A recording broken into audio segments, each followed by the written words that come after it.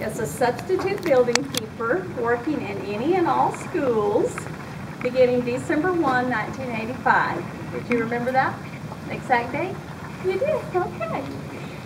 You were hired by, I didn't know this person, Dick Martin? Yes, uh, he was the director of maintenance and. Oh, okay, I didn't I didn't recognize the name, he must have, because Ken Abendroth was here. Okay, he was hired by Dick Martin. I assume he was working for free, y'all, because there was no hourly wage or anything on his, on his form that I found. So I think he just started and just liked it so much, he just said, I'll just work there for nothing.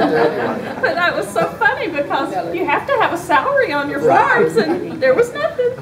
Um, But by May 1st, 1986, he was moved to the high school as a building keeper and he was making $6.10 an hour.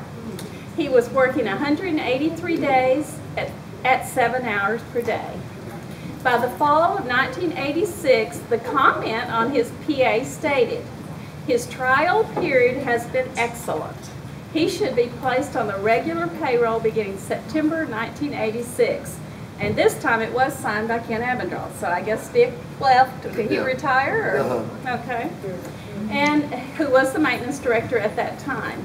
Then in February 1987, Steve began working 245 days at the high school in a custodial role. He remained there until October 1988 when he was hired by Linda Bang Reynolds, who was then the food service director, and he became the delivery warehouse person for food service and was partial time with maintenance. You're confirming on That this. was, yeah, that was, uh, Okay. I was doing the mail too. Okay, yeah, I've got that. He was now working eight hours per day with 20% time in maintenance and 80% food service. Now, your salary had jumped up now to $7.56 an hour. And when I arrived in 1989, Steve was still working a majority of his time for child nutrition and part-time delivering the mail, the district mail. He soon, though, began after, uh, he soon after that began working full-time for child nutrition, delivering all of our commodities to our seven school cafeterias. He soon found himself busy taking care of our managers' commodity needs as well as making lifelong friends with them. He also took care of our laundry for many years, washing all of our towels and hot pads daily. Steve continued to excel in his job and is now retiring as food and nutrition warehouse manager. Steve drove one of the many yellow vans with no air conditioning for many years, and we were talking about this the other day, until 2002, when he got his new box truck with air conditioning and a lift on the back for loading and unloading items. I want to tell you, he was like a kid on Christmas morning when he got the keys. And we all remember it so well. He, I remember him driving up to the building, he came in and he was just a strutting through there, you know. And so I went out and we looked at it, but Nice. it was like a kid on Christmas morning. We were so happy for him and enjoyed seeing him riding around in his new truck. And if you'll note, that's the picture in the program that you have um, with you. Of course, we also remember a few mishaps he had driving his truck, such as the sides of the truck being removed by those pesky gates that get in the way sometimes. But all in all, he had a pretty safe driving record. I knew Steve was thinking of retiring, but must admit when he came in to talk to me about it, I was taken a bit back by the timeline he had chosen. Luckily, though, he thought about it and decided to work a bit longer to get school started for us, and I do appreciate that so much. I truly appreciate it. Steve has always had a special place in my heart. He is a very sensitive and caring individual, and you are. Steve's relationship with the managers has always been a mutual one of respect. He took care of their needs, and they took care of his sweet tooth. They in. Yeah, probably a whole lot Oh, more whole than lot I do. But I would hear the stories of what you'd have, what you had. Of course, you know, you came in and talked to Sharon a little too much sometimes Yes, because. I always got all the information. It was, that's fine. We all know Steve has a sweet tooth and the managers never let him go long without a sweet treat for, sweet treat for him. I will miss him frequently saying, usually about Wednesday of each week, is it Friday yet? well, for you, Steve, Now every day is Friday. That's right. Seriously though, in thinking about Steve, I recall so many fond memories and a few stressful ones as well. He stressed when large shipments arrived or we had so many commodities that we were trying to get delivered in short, in short order to the schools. Our freezer would go down and the food had to be moved immediately. We had a few of those, didn't we, through the years? Before Hurricane Ike, you were so busy trying to get the food moved to the freezers with generators that would back them up. And he did. He got it all done. How, I don't know. You have also endured family illness and loss through the years that has been tough for you. He has also experienced much happiness from his daughter's marriage and more recently from the birth of his precious mm-hmm. grandson.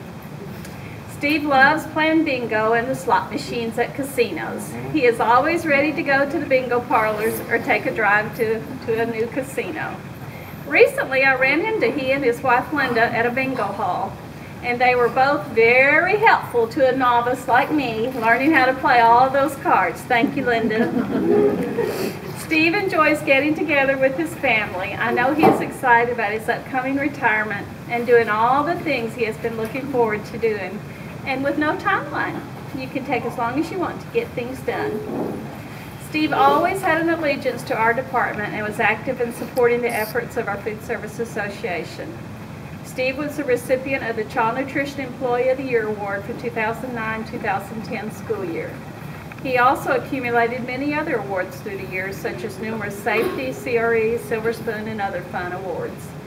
While reviewing Steve's personnel file recently, it was a, a trip down memory lane, reading the many comments and notes collected over the years, and some of these included great ability to organize and maintain the warehouse, facilitates and expedites orders for managers, very willing and cooperative, cooperates with supervisors, practices good safety habits, special letter of thanks July 6, 1988 for extra assistance beyond that required.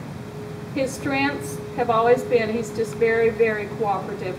He always took care of the managers, exceeds expectations.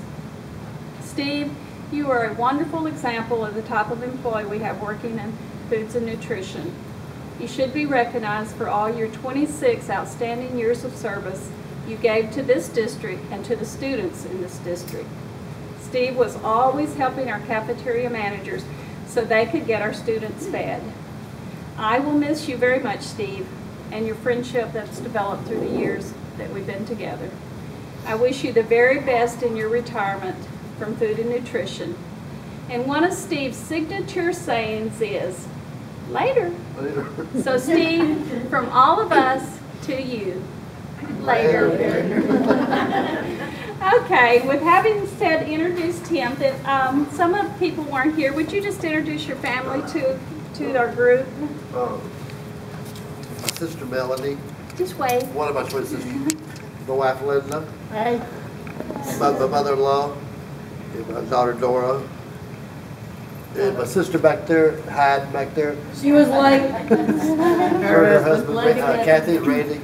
Now come on and sit down. Where's- You don't need to Bubba's. All, outside. all my, Bubba's outside with my him. son's out with my grandson, Nicholas. Uh, my son Steve Jr., my son- my son Nick, uh, my grandson Nicholas, Everyone knows too. Nicholas Ryan.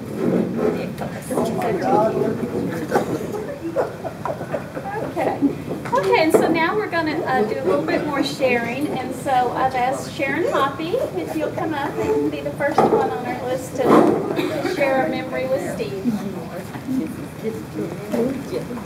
And as I said, she and Steve, y'all shared a lot of early morning moments, because Sharon's always an early bird. You might want to go around that way, because that's a cord there. Excuse me, I my door. Um, I've met Steve too long ago. He worked at Weingarten's, and my mother-in-law and I went shopping, and I met Steve there. And so I knew him when he started working, and I was in the school, at the high school, and I would see you. I would see you at K Little when I worked there. So I already knew you, but the last 16 years, I've worked real close with Steve in child nutrition. And so he's like my early morning buddy. He makes sure I'm okay when we get into work. And He's the one that carries in my Diet Coke for me every morning. And, not every morning, once a week. And, Every uh, morning. Okay, every morning. And so we get to gripe about whatever we want to gripe about to each other, and that's our venting, you know. And so I'm really going to miss him very much. Love you. You can call him in the morning, you know. He said he'd bring me some Diet Coke. I'm. And some Shipley's. Shipley's are from beef.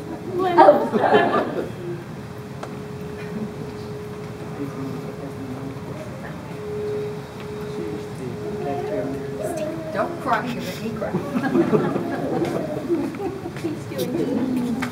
No, I guess I started a trend here. Seems like since I retired, uh, two people, well, two people retired last No, year. it's not your Two people fault. I gonna, it's gonna retire at the end of this year. But, uh, I missed all of y'all when I was gone, I missed Steve. We worked together when I was in the cafeterias, and like Miss Lee said, he always took care of the managers. But he also got very angry with us at times. But even though he was Not angry, he still took care of us. But, and he always was very uplifting. He'd come in and tease us and aggravate us with pulling our jet shirts and putting clothespins on us. You know, but he was always smiling and kept us happy. And, um, I just, you know, he's always, Aggravated.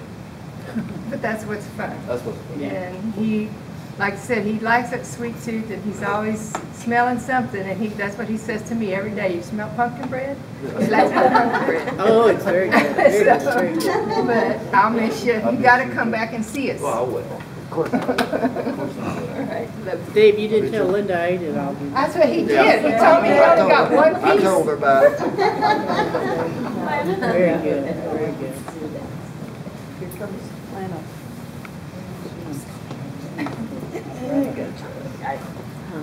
Well, I don't know how long we worked together before I realized that Steve and I were almost related, right? Yeah, almost related. We're almost related. Because come to find out, I grew up with his wife's family. We lived in the same town. It's like, oh my goodness. So we became like family. So I really appreciate it. I see his mother-in-law on my birthday because hers is either the day before or the day after mine.